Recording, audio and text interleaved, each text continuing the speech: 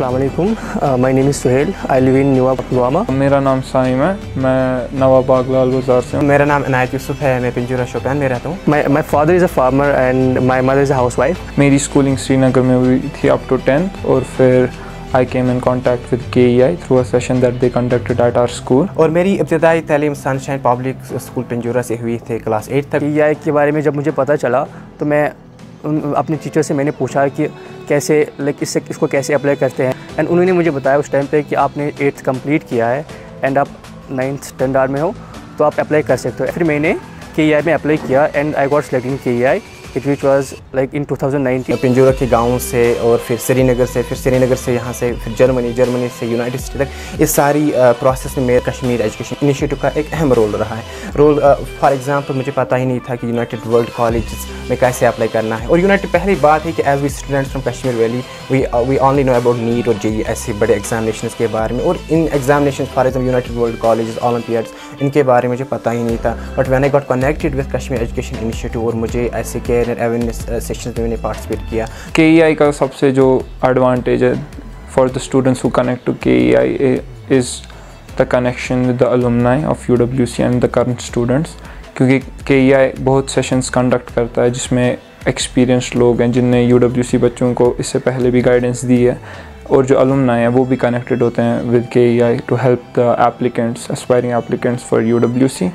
तो K E आई में होता है कि आपको ब्रीफ इंट्रोडक्शन दिया जाता है कि आप अप्लाई कैसे करेंगे। आई बी के एक अलग ही रेपुटेशन है पूरी दुनिया के। जहाँ भी यूनिवर्सिटी चाहे आप हार्वर्ड में अप्लाई करो यूनिवर्सिटी ऑफ़ ओक्लाहोमा में अप्लाई करो सेंट ओलाफ में अप्लाई करो तो आपको वो फॉर uh, एग्जांपल एक रिकॉग्निशन मिलती है कि that you have done through the rigorous course ये मेरे लिए एक फ़ख्र की बात है क्योंकि मैं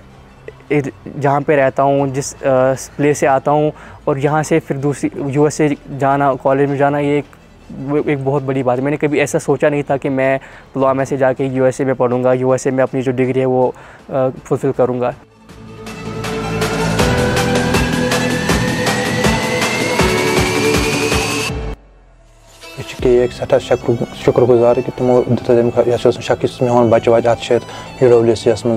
एक सठा शुक्र शुक्रगुजार कि तमो दिता शक मेन बच्चे वत अत यू डब्ल्यू सी एस मज तो ये यह और गो मे पानस यूत भरोसा कह ना हेका बह यूत एफर अमिस कर हेकान यूत पोस अमिस लग पे गई के वाले तमो दूसम बच्चे तुम कुन चीज़ ज़रूरत आए कत बात ज़रूरत कुन हेल्प पोसन ज़रूरत तुम हसा टेंशन कह यह हर साथ सत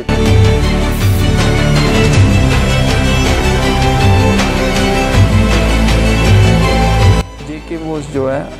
और सी बी एस ई है उसकी लेवल जो हम कहेंगे रिगर की, वो बहुत कम है compare to the I B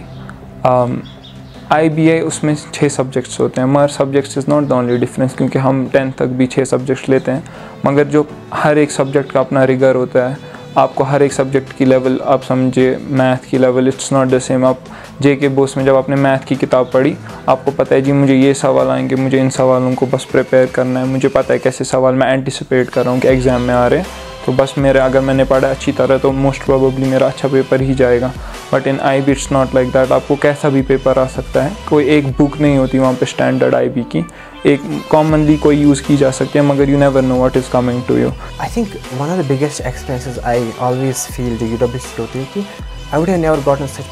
platform to meet the people from around the world like पूरी दुनिया के लोग, यानी अराउंड हमारे कॉलेज में यू डब्ल्यू में we had the people around one ten nationalities so ऐसे लोगों के बारे में, उनके बारे में एक्सप्लोर करना, पूरी दुनिया एक्सप्लोर करना, उनके कल्चर के बारे में जानना, और वो कल्चरल डिफरेंसेस के बारे में बात करना, अपनी रिप्रेजेंटेशन करना I think that was one of the one of the best things I learn in U W and I am always When I first applied to UWC and I got selected तो वहाँ पे मुझे 90 percent scholarship मिली थी which was a very big thing for me क्योंकि